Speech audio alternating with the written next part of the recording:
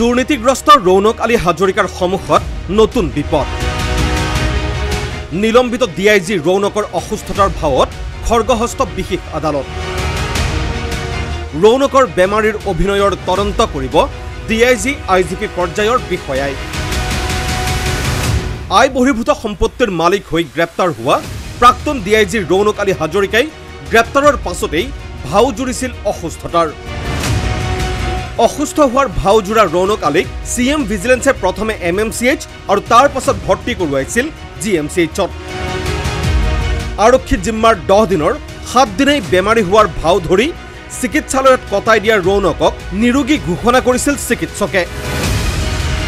কিন্তু জিম্মাৰ দহ দিনৰ সাত দিনেই চিকিৎসালয়ত কটোৱা ৰৌনক আলী হাজৰিকাক চি এম ভিজিলেন্সে এক প্ৰকাৰ সময়েই নাপালে জেৰা কৰাৰ।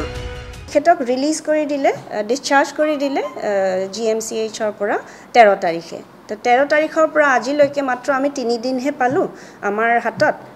মানে আমি তেখেতক ইণ্টাৰগেটে কৰিব পৰা নাছিলোঁ। চ' এই তিনিদিনত আমি তেখেতক ইণ্টাৰগেট যিখিনি কৰিলোঁ আমি একো তথ্য নাপালোঁ। শনিবাৰে পুনৰ নিজৰ জিম্মাত বিচাৰি আদালতত হাজিৰ কৰোৱা ৰৌনক আলী হাজৰিকাক ন্যায়িক জিম্মাত কাৰাগাৰলৈ প্ৰেৰণ কৰে বিশেষ আদালতে।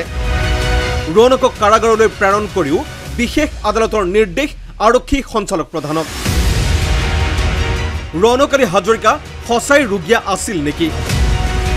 নে ৰোগীয়াৰ ভাও জুৰিছিল দুৰ্নীতিগ্ৰস্ত প্ৰাক্তন বিষয়াগৰাকীয়ে?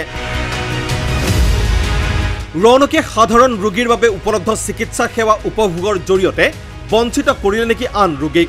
এই সমগ্ৰ বিষয় সামৰি ডি আই জি বা আই জি পি পৰ্যায়ৰ বিষয়াৰে তদন্ত কৰাৰ নিৰ্দেশ বিশেষ আদালতৰ। ৰৌনক আলী হাজৰিকাৰ বিৰুদ্ধে উঠিছে চিকিৎসক তদন্তকাৰী সংস্থাক হাৰাশাস্তি কৰাৰ নতুন অভিযোগ। মহামান্য আদালতে মানে এইটো কৈছে যে তেতিয়াহ'লে যদি তেখেতৰ ক্লিনিকেলি বা টক্সিকলজিকেল ৰিপৰ্টছত চব নৰ্মেল আহিছে তেতিয়াহ'লে ধাৰণা কৰিব পৰা যায় যে তেখেতে ভাও জুৰিছে। যিহেতুকে এইটো মানে ইনভেষ্টিগেটিং এজেঞ্চিকো হেৰাছমেণ্ট হৈছে ডক্টৰজকো হেৰাছমেণ্ট হৈছে আৰু প্লাছ যিজন মানে এজন জেনুইন পেচেণ্ট পাবলগীয়া ছিটটো পাবলগীয়া তেওঁ হেৰুৱাইছে। এখেতক মানে ছিটটো দি দিয়াৰ কাৰণে director general of police Assam তেখেতক এটা নিৰ্দেশ দিছে যে এজন police officer D D I G বা আই জি পিৰ ওপৰৰ ৰেংকৰ অফিচাৰে এই ঘটনাটো গোটেইখিনি ইনভেষ্টিগেট কৰিব লাগে। মুঠতে নামে বেনামে অগাধ সম্পত্তি গঢ়ি গৃহ বিভাগৰ অনুমতি অবিহনে বাৰ তেৰবাৰ বিদেশ ভ্ৰমণ কৰা প্ৰাক্তন ডি আই জি তথা বেমাৰীৰ ভাও ধৰা ৰৌনক আলী হাজৰিকাৰ সন্মুখত স্পষ্ট আন এক নতুন বিপদ। ভিডিঅ' জাৰ্নেলিষ্ট পৰাগ মেছৰ সৈতে সন্তি দাসৰ report N D twenty four.